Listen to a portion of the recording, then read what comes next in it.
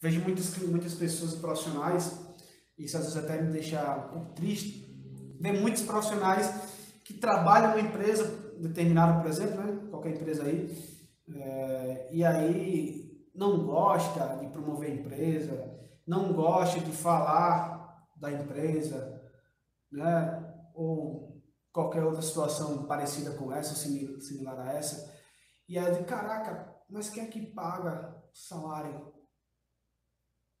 Quem é que paga o teu salário? São os clientes através dessa empresa, através do sucesso que essa empresa já construiu, através do sucesso que essa empresa proporciona para os clientes. Tu já parou para pensar nisso? Então, promova, galera, promova sem medo a sua empresa. Mas Alex, eu não trabalho um lugar, na empresa que eu trabalho, eu não gosto, então sai, cara. Sai. Vai procurar fazer algo que você gosta. Vai procurar trabalhar num lugar que você gosta.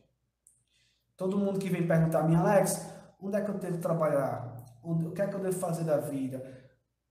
Eu digo para as pessoas, trabalhe no lugar que você gosta.